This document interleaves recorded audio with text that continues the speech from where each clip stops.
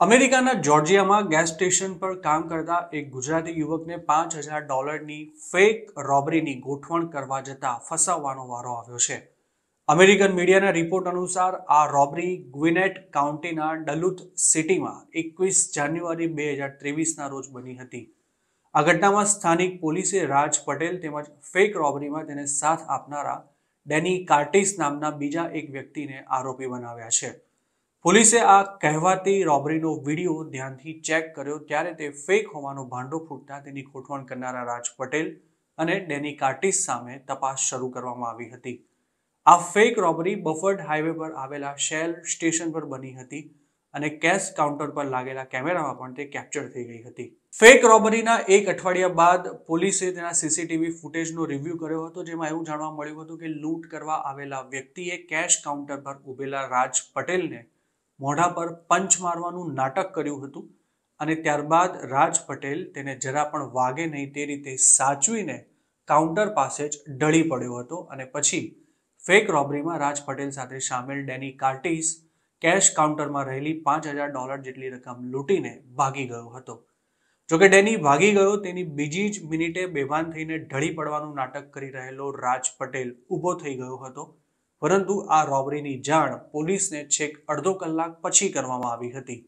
Nine one one પર રોબરીનો call આવ્યા બાદ પોલીસની ટીમ જ્યારે ગેસ સ્ટેશન પર આવી, ત્યારે તેણે સૌ પહેલા રાજ પટેલના હાલચાલ પૂછ્યા હતા અને ત્યારે રાજ પટેલે પોલીસને એવું નિવેદન આપ્યું હતું કે કોઈ હથિયારધારી લૂંટારાએ તેના પર હુમલો કરીને તેને બેભાન બનાવી દઈ લૂંટ ચલાવી હતી.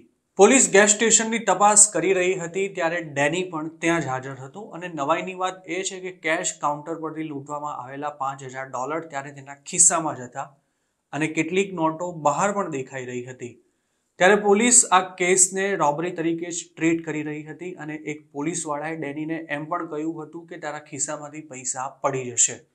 પોલીસના મોઢે આ વાત સાંભળીને ડેની પણ એક સમયે ગભરાઈ ગયો હતો, પરંતુ તે વખતે રાજ અને ડેનીએ ગમે તેમ કરીને સ્થિતિ સંભાળી લીધી હતી.